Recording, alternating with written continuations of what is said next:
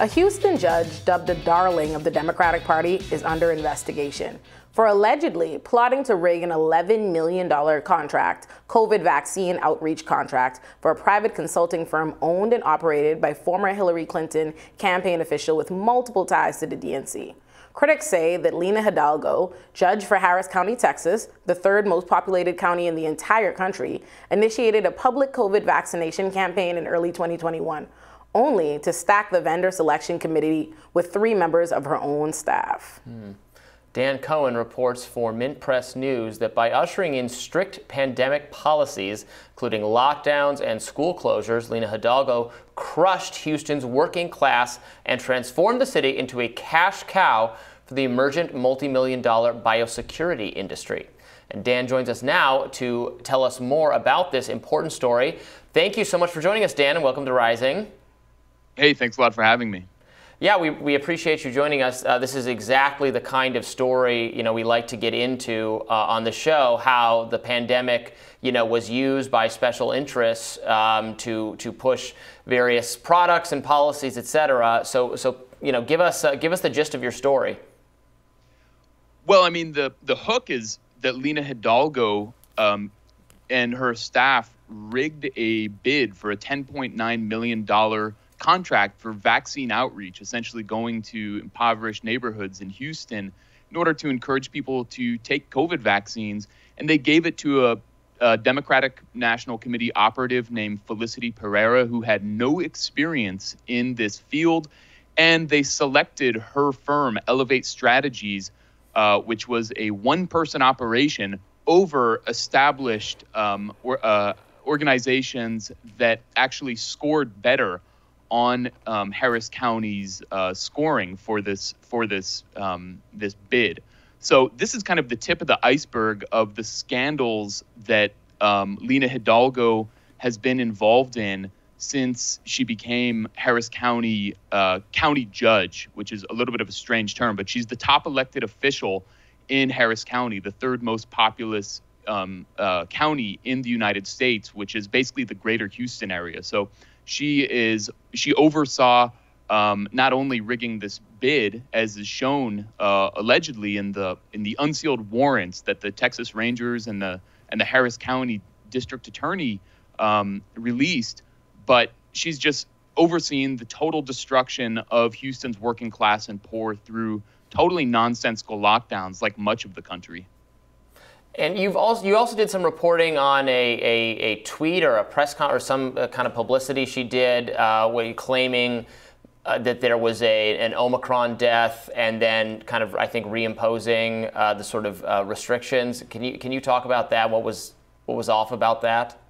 So back in December, right before Christmas, everyone was terrified about the new wave of Omicron. You know, those coming out of, out of South Africa and no one knew what does that mean for my upcoming travel plans and finally getting to see my family. And Lina Hidalgo holds this press conference where she declares that Harris County had the country's first Omicron death.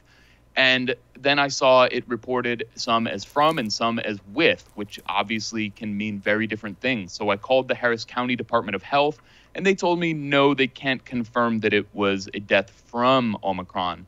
And so that kind of opened my eyes to kind of go into the story and see what she was up to and it, and it was just a total lie. She had no evidence and she was basically fear mongering uh, the, the entire country and that's that's who Lina Hidalgo is. Hmm. so is there uh, you know what is the what's going on with the there's there an investigation? There's a given this uh, what you've said is an unethical kind of uh, contract being awarded uh, what, what's going on with that right now? So the Texas Rangers and the Harris County District Attorney um, raided her office back in March, I believe, and the warrant was unsealed a month later. Text messages from their computers and cell phones showed how they uh, rigged this bid for that DNC operative Felicity Pereyra. But um, so it, the investigation continues. Lina Hidalgo has said that she expects to be in, indicted. Three of her top staff members have been in, indicted themselves. Um, so who knows where this will go? And there's a, uh, a, a race right now. Lina Hidalgo is up for reelection, and she is really stirred up her um, uh, her opposition, the Republican base, which you know my my work exposing her is in no way an endorsement of her opposition. I mean, I'm you know I, I'm from the left, but I think we have to be honest about regardless who of who's in power that um, you know we we won't accept this kind of blatant corruption.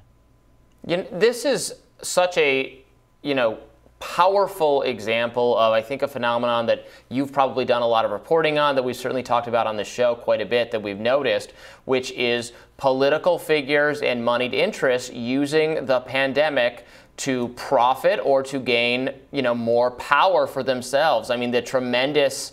Uh, the tremendous power shifted to the to the elites and to government government health officials, other government officials, uh, some companies, et cetera, to to set the terms for how we're all allowed to live. Does this, you know, is this issue? Is she going to have to resign in disgrace over this? Well, one, well, one would she hope expects to true. be indicted. Yeah, so she expects, to, be she expects to be indicted. I think a resignation is inevitable. Yeah. She said she expects to be indicted, but she said it's all political persecution and that mm. she's, you know, totally a victim here. But I mean, and maybe, point, but she'll still probably have to resign. I mean, you know, the text messages, if you read those yeah. in the indictment, are pretty in in the right. warrant. I'm sorry, are are pretty damning. But yeah. to your point, Robbie, I mean, Lina Hidalgo, the thrust of my my second investigation into Lina Hidalgo, which everyone can read at Mint Press News, is showing that Lina Hidalgo's lockdowns were actually ordered not by were designed not by public health real experts who are trying to you know look out mm-hmm. for for the most vulnerable, but actually by a billionaire funded uh, think tank housed inside Rice University called the Texas Policy Lab, which is funded by Houston's wealthiest couple, John and Laura Arnold, owners of the Arnold Foundation. And through this uh, Texas Policy Lab, which almost no one has ever heard of and is actually mentioned in the unsealed warrant, they brought the most heinous destruction of the working class and poor in Houston that it's ever seen, worse than the 2008 Great Recession, Great Recession and the 1987 oil bust combined. And so we're supposed to say that that was done in the name of public health. Um, it's just totally absurd, and it shows that the the billionaire class actually wanted lockdowns. They wanted to basically turn off the spigot so you know poor and working people could not um, could not survive, and basically then the the biggest corporations in the in the world, Amazon for instance, would be able to take their market share as businesses died off. And so that's you know that's the reality of this supposed progressive, supposed reformer Lina Hidalgo, who's really a cog in a mm. nationwide influence machine. Wow. Well, thank you so much for your investigative journalism and reporting, Dan. Thanks a lot for having me. Appreciate it. We'll be back with more Rising after this.